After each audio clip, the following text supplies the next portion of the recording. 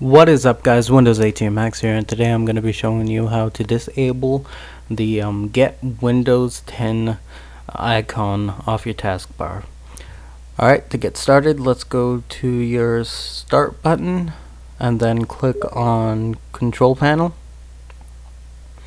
And then from control panel click on system and security Windows update and you're going to make sure that your operating system is fully updated. And then you're going to click on view update history. Click on installed updates.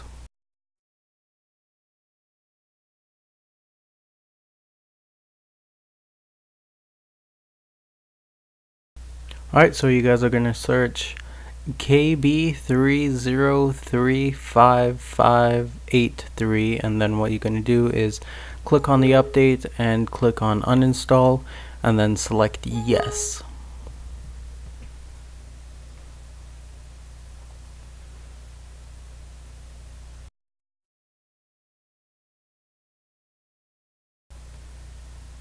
And then just go ahead and click on restart now.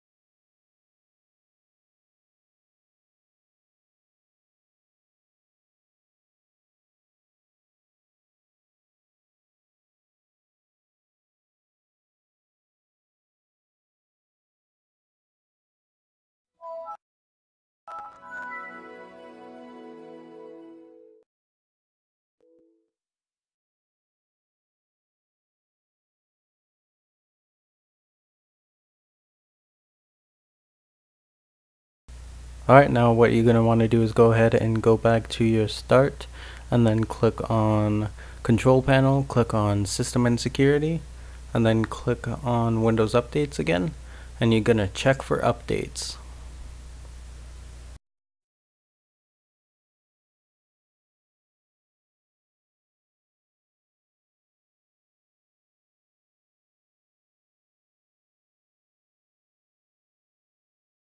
Alright, once you get here, what you're going to want to do is click on the optional updates are available. And then you're going to look for the exact same uh, Windows update, the KB3035583 and you're going to click on it and right click and you're going to click on hide update